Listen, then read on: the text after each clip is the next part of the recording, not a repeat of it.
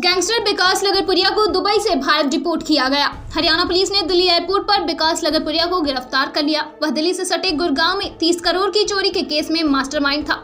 गुरुग्राम स्थित खेड़की दौला थाना इलाके में साल 2021 में 5 अगस्त के दिन 32 करोड़ रुपए की सनसनीखेज चोरी का मामला सामने आया था। इस वारदात में दूसरे आरोपियों की गिरफ्तारी से खुलासा हुआ कि गैंगस्टर विकास लगरपुरिया इस चोरी का मास्टरमाइंड है। बदमाशों ने Alfaji cart management services private limited company की रकम चुराई थी। पुलिस इस हाई प्रोफ़ाइल चोरी के मामले में अब तक सत्रह आरोपियों को गिरफ़्तार कर चुकी है। दिल्ली पुलिस के सूत्रों ने बताया कि गैंगस्टर विकास लगरपुरिया के दुबई होने के इनपुट मिले थे। इसके बाद रेड कॉर्नर सर्कुलर जारी किया गया था। इसके आधार पर दुबई से इसे दबोच लिया गया था। इसके बाद उसे अब भारत लाया गया है।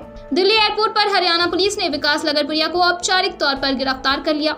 विकास लगरपुरिया पर हत्या, लूट, वसूली के कई मामले दर्ज हैं। दिल्ली पुलिस स्पेशल सेल भी विकास से पूछताछ करेगी। इससे पहले दिल्ली पुलिस स्पेशल सेल की टीम ने विकास लगरपुरिया गिरोह के दो शूटरों, चेतन मान उर्फ़ बॉक्सर और धीरपाल को गिरफ़्तार किया था। इनमें से चेतन राष्ट्रीय स्तर का बॉक्सर रह चुका है। पुलिस को सूचना मिली थी कि मोस्ट वांटेड इनामी अपराधी विकास गुलिया उर्फ़ विकास लगरपुरिया के शूटर दिल्ली एनसीआर में कुछ बड़ा अपराध करने की फिराक में है। आरोपियों ने दिल्ली में कुछ जघन्य अपराध को अंजाम देने के मकसद से मध्य प्रदेश के खरगोन से हथियार खरीदे हैं। ब्यूरो रिपोर्ट, दिल्ली समाचार।